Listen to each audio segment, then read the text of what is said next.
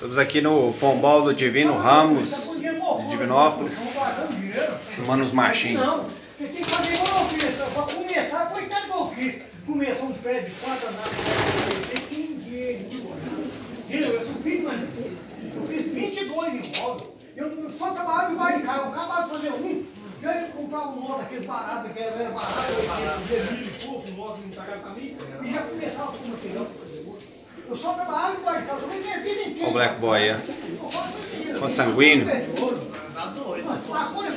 Peito ralado ali também é o consanguíneo Black Boy. Divino aqui tem muito estima pelos Black Boy.